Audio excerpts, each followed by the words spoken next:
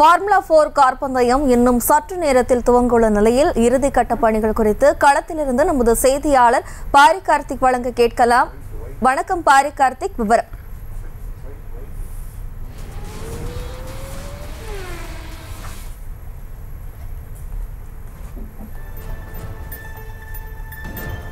Formula போர் car பந்தயமானது இன்னும் சற்று நேரத்தில் துவங்க உள்ளது.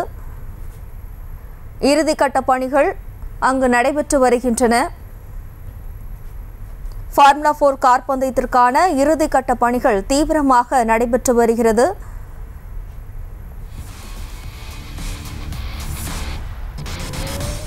ஃபார்முலா போர் கார் பந்தயமானது இன்னும் சற்று நேரத்தில் துவங்க உள்ள நிலையில் இறுதிக்கட்ட பணிகள் குறித்த கூடுதல் விவரங்களை தருவதற்காக நமது செய்தியாளர் பாரி கார்த்திக் இணைக்கிறார் வணக்கம் பாரி கார்த்திக் அங்கு என்னென்ன ஏற்பாடுகள்லாம் செய்யப்பட்டு வருகிறது? விவரம்.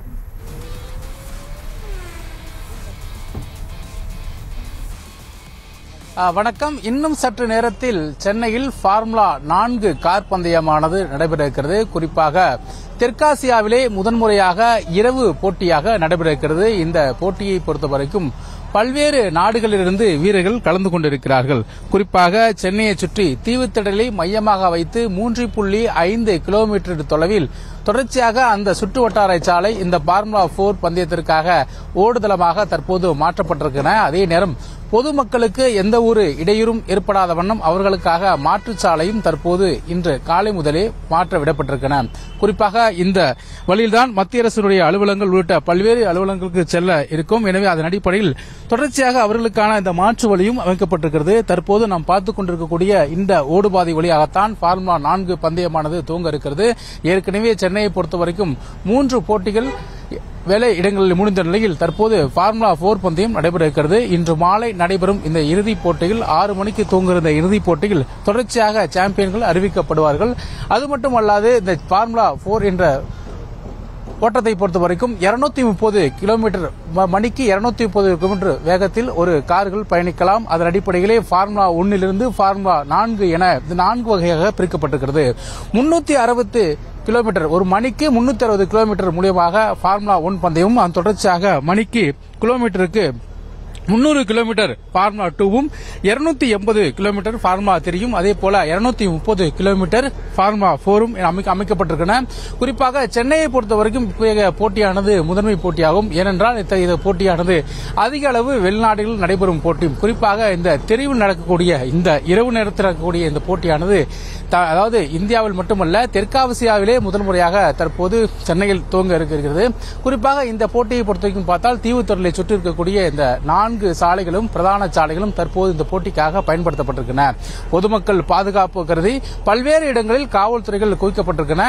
இரண்டு இடங்கள் பொதுமக்கள் அமரும் மேடைகள் அமைக்கப்பட்டிருக்கின்றன. குறிப்பாக பல்லவன் இல்லம் அதே போல ஓமுந்துர மருத்துவமனை இந்த இரண்டு இடங்களுக்கு தான் பார்வையாளர் மாடங்களும் அமைக்கப்பட்டிருக்கின்றன. தொடர்ச்சியாக நாம் அந்த காட்சிகளை பார்த்துக் கொண்டிருக்கிறோம். இந்த ஓடுதளம் மூலியமாக தான் இந்த போட்டியானது நடைபெற இருக்கிறது அதற்கான இறுதிக்கட்ட பணிகள் தான் இங்கே நடைபெற்றிருக்கிறது. பொதுவாக இந்த வழியே மற்ற வாகனங்கள் செல்ல அனுமதிக்கவில்லை. குறிப்பாக இந்த போட்டியை பொறுத்த வரைக்கும் தற்போது இந்த போட்டிக்குரிய அந்த வேலைக்கான வாகனங்கள் மட்டுமே அனுமதிக்கப்பட்டிருக்கிறது. ஏனைய வாகனங்கள் ஏதும் மற்றும் பொதுமக்களும் அனுமதிக்கப்படவில்லை. இரண்டு தடுப்புகளை இது கொடுத்து குறிக்கிறது. குறிப்பாக இந்த நாம் போகின்ற அந்த சாலை இருக்கக்கூடிய இரண்டு தடுப்புகள் இருக்கின்றன.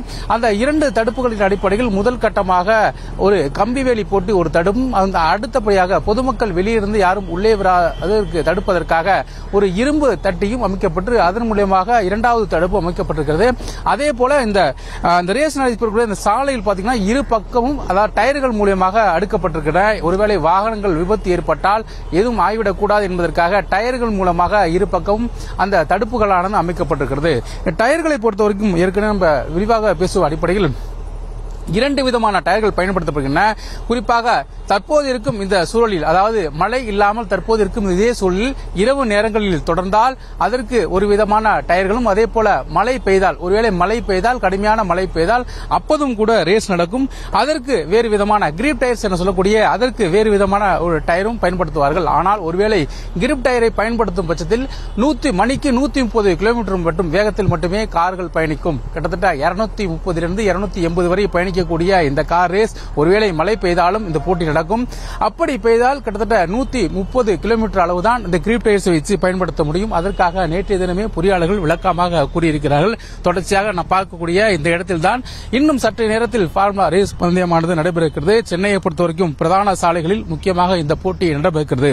இந்த போட்டி நடைபெறுவதால் சர்வதேச அளவில் இந்திய அளவில் மட்டுமல்லாத சர்வதேச அளவில் தமிழ்நாடு சிறப்பு கவனம் பெறும் என்றும் எதிர்பார்க்கப்படுகிறது. உலகளாவிய போட்டியை நடத்தக்கூடிய ஒரு இடமாக சென்னை மாறும் என்று எதிர்பார்க்கப்படுகிறது தற்போது நான் பார்த்துக் கொண்டிருக்க அந்த பார்வையாளர் மாடத்தில் தான் பார்வையாளர் உட்கார்ந்து அமர்வதற்கான ஏற்பாடுகள் செய்யப்பட்டிருக்கிறது. இன்னும் சற்று நேரத்தில் பார்வையாளர்கள் உள்ளே அனுமதிக்கப்படுவார்கள். ஏற்கனவே அவர்களுக்கான டிக்கெட்டும் விநியோகம் செய்யப்பட்ட நிலையில் தற்போது பார்வையாளர்கள் மாடம் இரண்டு இடங்கள் அமைக்கப்பட்டிருக்கின்றன. ஒன்று பல்லவன் நிலத்தில் இதே போல பார்வையாளர் மாடம் அமைக்கப்பட்டிருக்கிறது. அதன் தொடர்ச்சியாக நாம் பார்க்கக்கூடிய ஓமுந்துரால் அலுவலக ஓமுந்துரால் மருத்துவமனை அருகில் இங்கும் இந்த பார்வையாளர் மேடம் அமைக்கப்பட்டிருக்கிறது. பாதுகாப்பு கருதி தற்போது யாரும் அனுமதிக்கப்படவில்லை. தொடர்ச்சியாக இன்னும் சில ஒரு மணி நேரத்திற்குள்ளாக பார்வையாளர்கள் இங்கே அனுமதிக்கப்படுவார்கள் என்று எதிர்பார்க்கப்படுகிறது. அதே நேரம் அருகிலுக்கு மருத்துவமனைக்கு எந்த ஒரு பாதிப்பும் ஏற்பட்டு விடக்கூடாது என்பதற்காக தொடர்ச்சியாக அங்கு செல்லும் வாகனங்களுக்கு சிறப்பு காவலர்கள் ஒன்று நியமிக்கப்பட்டு அதன் மூலமாக அங்கு போகும் நோயாளிகள் மற்றும் புறநோயாளிகள் உடனுக்குடன் அவர்களை அனுமதிக்கப்படுகிறார்கள். இன்னும் சற்று நேரத்தில் சென்னையை பொறுத்தவரைக்கும் இந்த போட்டியானது நடைபெறுகிறது.